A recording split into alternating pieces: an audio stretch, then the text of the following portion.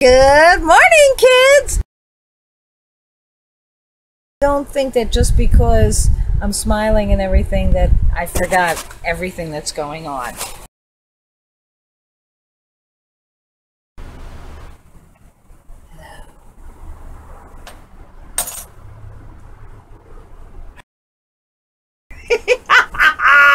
Could you imagine me seriously starting a video like that?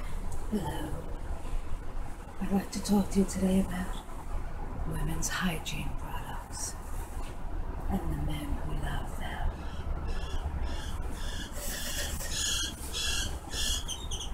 Oh, I hear nature outside my door! Because I have my door open, look. Woo, that is my screen door. We've seen that before, right? It's just a screen door. How are you kids? Look at me trying to follow the camera. Wait, wait, wait, I can't keep up. Oh, God. My freaking knee, I can't keep up. Nah, I'm only kidding. Look at my bra strap showing up. Just so ghetto. Stop being ghetto. Cover it up. It's really nice outside today. There's a breeze. There's no sun. Thank goodness. I mean, don't you some days just like, you know, get out of here, son. You're just too much sun. Tell your father to come over here. Guess I'm really feeling more relaxed now, huh? I think I'm getting old. I'm serious, because no matter what time I go to bed, I'm up like 6 o'clock in the morning. And I'm hungry. Maybe that's a test, you know? If I'm up really early, it's okay. As long as I'm not hungry for dinner by like 9 in the morning. Yeah. Get, get me some chicken pot pie. You know, is that the blue plate special today? That shows that you're old. Uh, see, this shows that I'm old. I go from one thing to another. If I drop it and see a penny, pick it up, all the day will I have good luck? I mean, it was my penny. But if I dropped it unintentionally and picked it up, does that count? What if I had picked up that penny as see a penny, pick it up all the day, you have good luck? Do I get a second day on the same penny because I saw it and I picked it up? What if I drop it intentionally so that I can bend down and pick it up because I feel all that day I need good luck? Does that count? Well, does it? You know, it's so funny that now I feel comfortable because I know a lot of you who are out there who write to me and everything. And look, shoulders down. I'm really relaxed talking to you now because I know who I'm talking to. Not all of you, because remember Romper Room? I see Janie and Susie and Paulie and Ted. I can't see all those kids in the back rows and the ones who are standing outside the room. I, I don't know who all of you are. Hmm. okay, we're getting really silly here today. We. I'm I, I'm including you in my silliness. that is silly and presumptuous too. Sydney Cove. Love my daughter so much. Did I show you what she gave me for Mother's Day? Hang on, you got to see this. Ah, it tastes funny today. Ready? Okay, this is what the Sidster sent me for Mommy's Day. It's a It's a fire! It's a fur! It's a fur! I love the fact, first off, that she's all the way far away and she sent me a gift for Mother's Day. It's not like she's right here. She makes me breakfast in bed, sticks a little card underneath the coffee cup, you know, between the scrambled eggs and, and the toast. No, she went online and, oh man, she asked me if she could use my Amazon account because she wanted something quickly. Oh, that little Dickens. That was for me. So there's several. Stop moving. Vertigo. I didn't realize it was for me, so she sent it to me. What I really like about this is the two things. The first, that she went out of her way to send it to me because she's not right here. And also the second is that uh, I'm technology equipped. You know what I mean? I mean, I'm not technology challenged, and she knows that. Like, like, like, I'm a current kind of mommy. I'm not saying I'm the cool mommy or anything like that. You know, I'm just um current, and I like that my daughter knows that. You know that like we text each other and stuff uh, that was something that my mother never did. My mother never even turned on a computer, and she thought that because she hadn't, that she was safe from any kind of internet fraudiola stuff. But she didn't realize that she wasn't. I could type in her name and everything comes up: her address, her age, probably like uh, what color panties she had on, if she wore panties. Who knows? Maybe she was freaky. Sitting in front of my new blinds for you. Ta-da! Let, let me do the Carol Merrill. Do you remember Carol Merrill? This was her, her little gesture. This beautiful motorcycle. It's his and hers motorcycles for the newlywed and you, because that's what you need when you're a newlywed. This and hers motorcycles and good life insurance. Woo! Just relaxing. Yeah, I have a new place for my glasses. I've been putting them there or here. You know, here I like to put them here it makes kids laugh. They look at me and they just, but I'm not doing it for that. This is really where I keep them. I think that they think it's some kind of a weird beard that I've grown. First off, a lady growing a beard, and second off, that is just freaking weird. That's a weird beard. Don't put them up here because then the sticky, the product from my hair gets on them, or the grease if it's dirty. Dirty, stop it. Anyway, so let's get on with this. First off, a lot of people are asking, aren't you getting ready to leave this town? I mean, it's getting so frigging hot. Yes, I am getting ready to leave. And as soon as everything, all my loose ends are tied up here, I will be leaving. Where are you going, Shell? I'm going to leave here and I'm going to head north to Reno because Reno is beautiful. Have you been to that river up there? I don't know if it's a Truckee River or whatever the heck it's called. It's absolutely beautiful and a lot of fun up there. And along the way, going to stop at some ghost towns. I would really like to go to Little A'Le'Inn, but that's a different way. I think it's Rachel, Nevada. Then, and then, then heading east to see my daughter going to Cincinnati. Cincinnati, WKRP. What's that other one? Where's Drew Carey? We love it. Is he in Ohio? Anyway, going to Cincinnati, or as my daughter calls it, the Nasty Natty. Woo. I said, anything nasty? Sign me up for it. Twice! That's the plan out of here. I just have to tie up my loose ends. It's funny. I mean, I'm 56 years old. I've been in this town since 87. You got a lot of things that you got to finish up here, you know, and I'm waiting for stuff to come in the mail so I could do that stuff. Look at an itch. It's a nice breeze outside, and I don't really feel like moving the coach because, to tell you the truth, it's freaking level as hell everything knockwood is working really well i like where it is i'm up far where i'm in the shade until like around noon and I kind of feel like walking. I'm really getting cabin fever in here. I'm gonna tell you the truth. I'm oh, getting claustrophobic, but can't leave Shifty alone. He's got terrible separation anxiety. But I did leave him alone last night and I went to Sam's Town for a little bit. I played bingo. Nine o'clock bingo. I didn't do anything. Then I went down and I played a machine and that took uh, 20 bucks like this. Remember how Shifty eats pepperoni? Just took my 20 bucks, didn't even kiss me. I came home, he was sitting on the couch, very comfortable, like this, with his paws. I had the TV on and I had the air conditioner on, so I think it might have something to do with being, hearing voices. Long as he hears voices, he's okay. My little Shifterino, he's underneath the the dinette. Here's here's a downer thing. I still have my solar panels in the bedroom sitting there because now I don't think that Nick wants to to put them up with me for me. I would pay him for it. But I am going to go see him tomorrow to bring over the fire stick so that he can jailbreak it for my daughter. Which means that you you you just break the code so that the fire stick can get every single channel in the world I will see every movie ever made.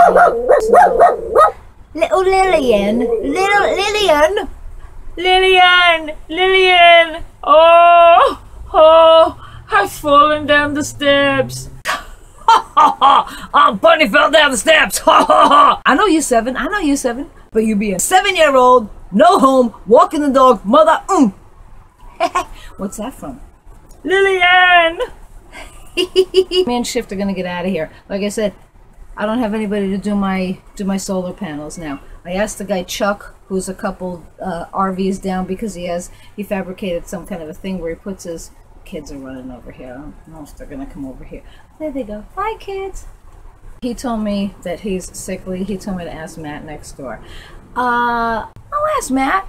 I'll ask Matt if it looks like that he could help me and fabricate it, and if it looks like it'll last. I talked to Affordable RV today, who said that they would do it, but they would put it on my roof. I said, yeah, that'd be good, except that my batteries are all the way in the front, and for you to put the wire down through my refrigerator, that's a long friggin' way. It's not going to charge efficiently. If anything, I put them up here and then make a hole and come down through there.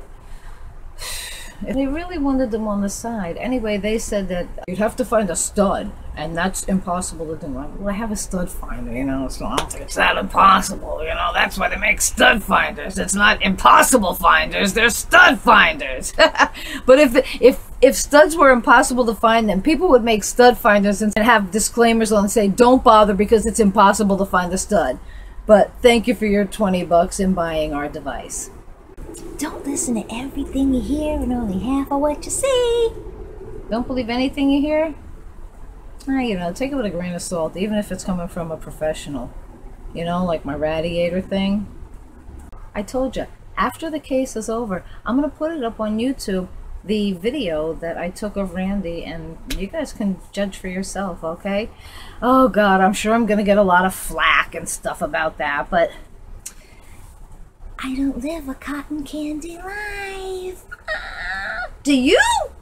You know what? If I were only to come on here and put all the great things that happened to me, wouldn't people be tuning in and go, oh my God, everybody's got such a great life except me. My life sucks.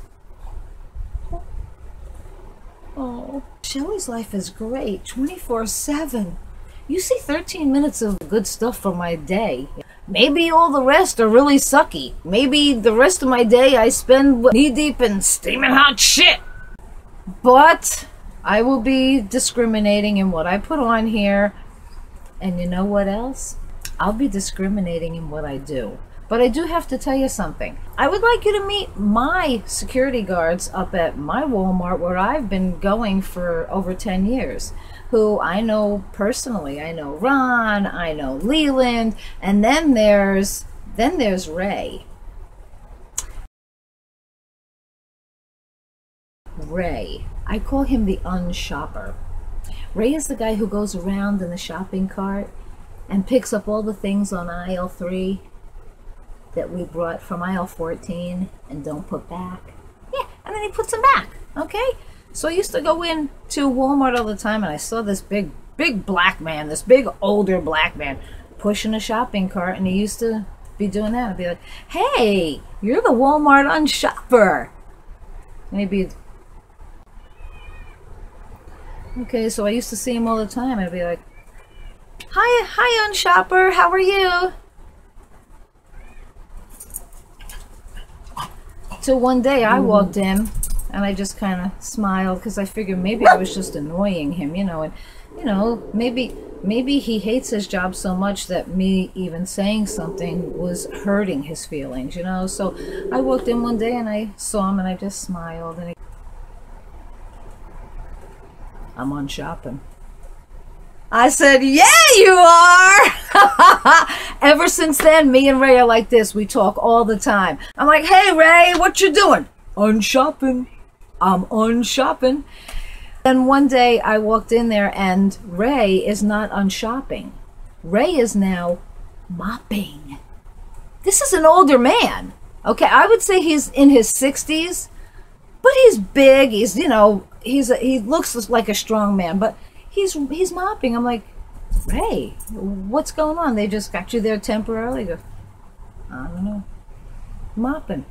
I go in the next day, Ray's mopping and he's still mopping all the time.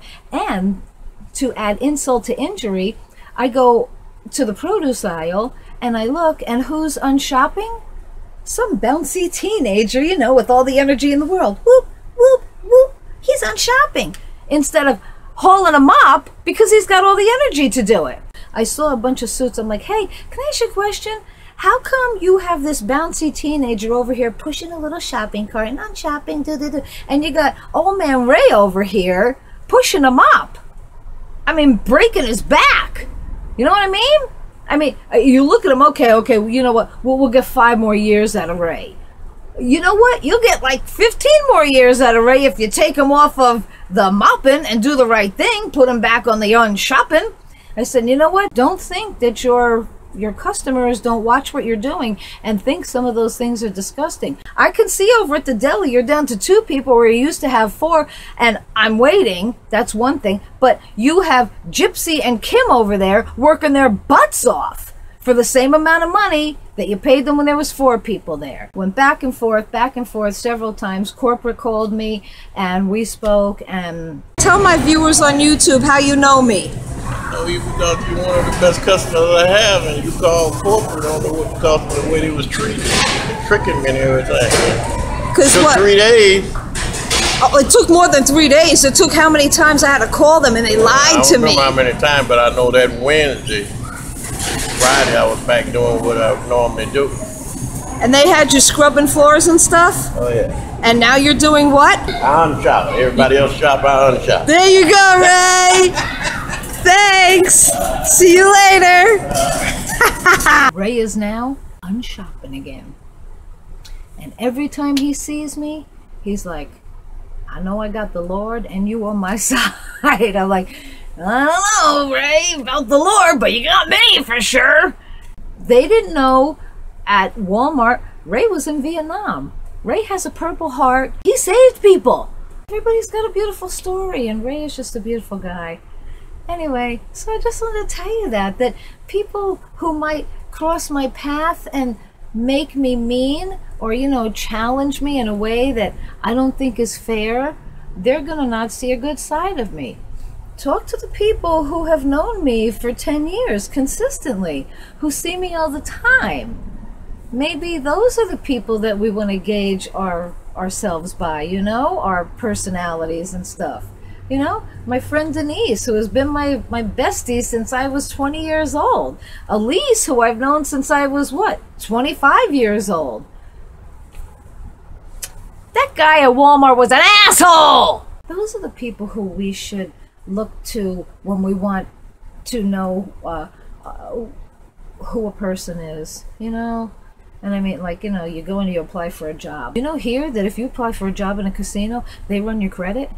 You can't get a job here in a casino if you got bad credit. I guess they don't want you around the money and stuff, but that doesn't make sense to me because somebody who's got a really low FICO, what does that say about a person? That they ain't stealing from anybody to pay their bills. I would look at the guy with the 740 score like, come in here for a job because you don't have one? Where you getting all that money? Hey, wait a minute. See what I'm saying? They check my credit, they wind up standing in a corner laughing to each other. Look at this Goodwill Salvation Army. she can't even pay off secondhand stuff. she wants to work here? What is she, a friggin' comedian?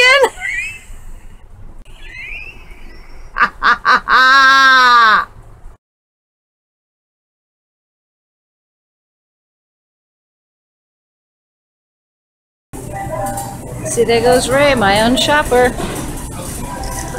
He's unshopping.